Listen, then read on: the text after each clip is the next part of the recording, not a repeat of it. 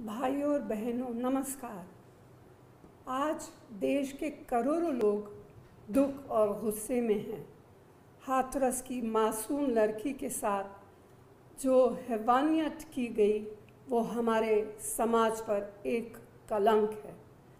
मैं पूछना चाहती हूँ, क्या लड़की होना गुनाह है? क्या गरीब की लड़की होना अपराध है? उत्तर प्रदेश सरकार क्या कर रही थी? हफ्तों तक पीड़ित परिवार की, न्याय की पुकार को सुना नहीं गया। पूरे मामले को दबाने की कोशिश की गई।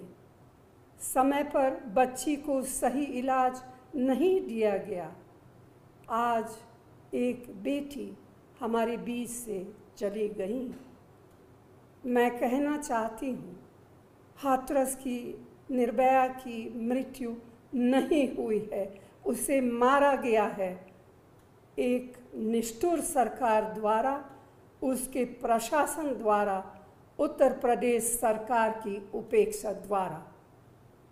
जब वह ज़िंदा थी, उसकी सुनवाई नहीं हुई, उसकी रक्षा नहीं हुई। मृत्यु के बाद उसे अपने घर की मिट्टी और हल्दी भी नसीब नहीं होने दी। उसे उसके परिवार को सौंपा नहीं गया।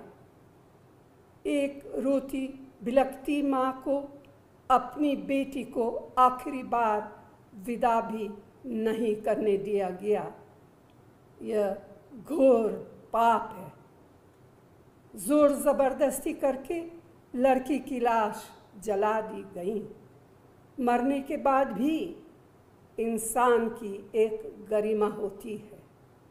हमारे हिंदू धर्म उसके बारे में भी कहता है, मगर उस बच्ची को अनाथों की तरह पुलिस की ताकत के ज़ोर से जला दिया गया। ये कैसा न्याय है? ये कैसी सरकार है? आपको लगता है आप कुछ भी कर लेंगे और देश देखता रहेगा। बिल्कुल नहीं, देश बोलेगा आपके अन्याय के खिलाफ। मैं कांग्रेस पार्टी की तरफ़ से हाथरस के पीड़ित परिवार की न्याय की मांग के साथ खड़ी हूँ। भारत सबका देश है। यहाँ सबको इज़्ज़त की ज़िंदगी जीने का अधिकार है। संविधान ने हमें ये अधिकार दिया है। हम भाजपा को संविधान और देश को नहीं तोड़ने देंगे। जय हिंद।